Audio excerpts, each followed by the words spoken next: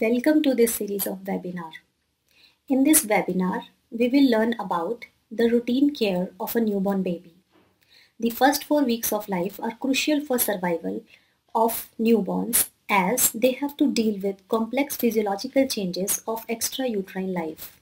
Care provided during this period improves the chances of survival and lays a healthy foundation for rest of the life. Hence, it is essential to train healthcare providers, mothers and family members to provide evidence-based routine care to a newborn.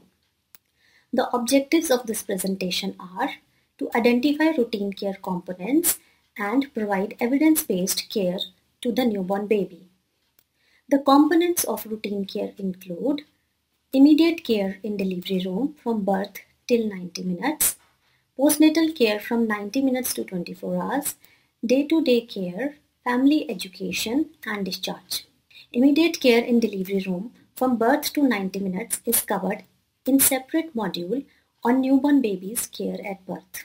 In this module, we will discuss postnatal care from 90 minutes to 24 hours, day-to-day -day care, education of family about taking care of baby at home, routine follow-up, identify danger signs, and when to return to healthcare facility. We shall also identify when to discharge the baby. Throughout the routine care, in hospital and in home, maintain warmth, normal breathing, provide mother's milk and prevent infection. As these four are the basic needs of every newborn baby. Now, let us learn about postnatal care from 90 minutes to 24 hours. Maintain warmth and keep the dyad together. Administer IM vitamin K. The vaccinations include hepatitis B to be given intramuscular, BCG to be given intradermal and oral polio vaccine. Again, one should screen for danger signs and manage accordingly. If no danger signs are present, a detailed head-to-toe assessment should be performed.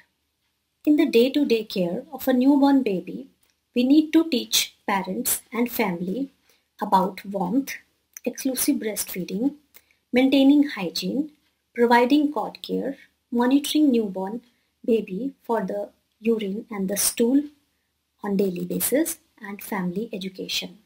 Now let us learn about how to maintain the warm chain. Ensure that the temperature of delivery room is between 25 to 28 degrees Celsius. Newborn care corner temperature is 28 to 30 degrees Celsius and the postnatal care area 25 to 28 degrees Celsius. Postpone bathing for at least 24 hours and keep baby clothed and well wrapped with head covered. Breastfeeding. Continue exclusive breastfeeding day and night at least 8 times per day and up to 6 months of life. Assess and ensure good attachment and positioning. The picture in the slide suggests good attachment and good positioning. We shall further understand their details in the webinar on feeding. The mother who had C-section should start breastfeeding as early as she can respond to her baby, ideally within first hour after birth. HIV positive mother should be educated about feeding as per country guidelines. Cord care. Educate parents to perform hand hygiene as per standard steps depicted in the picture before and after the care. Advocate not to put anything on the stump and fold the nappy below the stump level. If the stump is soiled, wash it with clean water and soap. Dry with a clean cloth. Daily look for signs of infection around the cord stump like pus discharge, redness, swelling, high temperature more than 37.5 degrees Celsius associated with other infection signs. Immediately seek medical care if any of the above signs are present.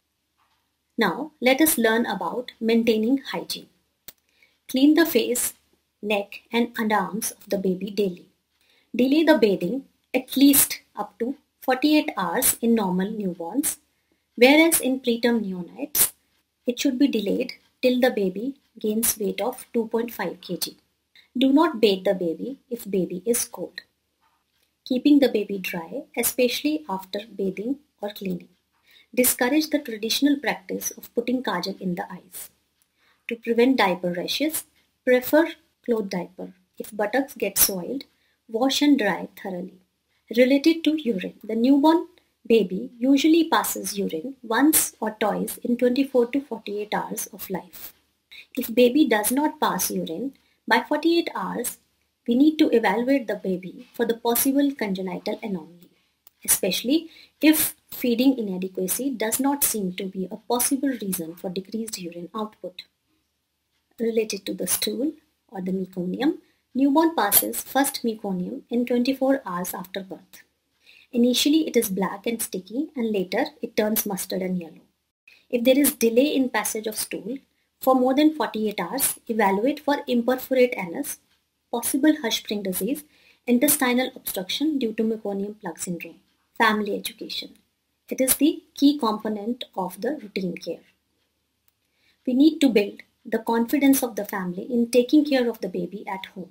Teach parents how to keep the baby warm. This includes covering the baby well, avoiding contact with cold surfaces and cold air.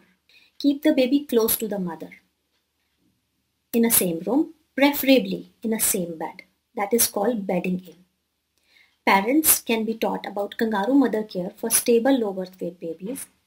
Details of KMC have been covered in the separate webinar on KMC.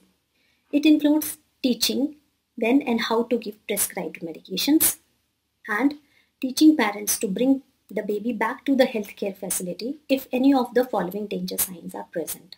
We shall learn about these danger signs in a separate webinar. And we need to ensure that the family has understood these danger signs before the baby is discharged.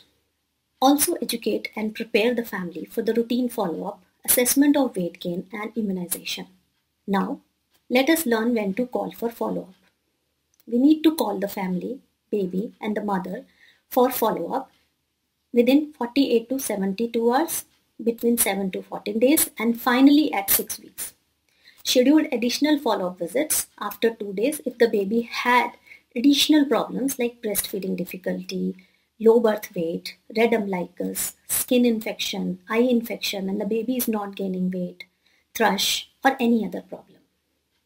Whereas if the baby is feeding well, that is 8 times per 24 hours, the baby is stable and baby has no danger signs, Mother is confident in taking care of the baby and she has understood the need for follow-up and to report in case of emergency, we can discharge the baby. Remember, never discharge the baby without ensuring that family has understood all the danger signs and know when to return to healthcare facility. So now, coming on to the key messages, the survival of newborn depends on the meticulous and time-bound care provided in delivery room. Ensure that the four basic needs that is warmth, normal breathing, mother's milk and prevention of infection is provided throughout the routine care. We need to empower the family as family is the ultimate care provider.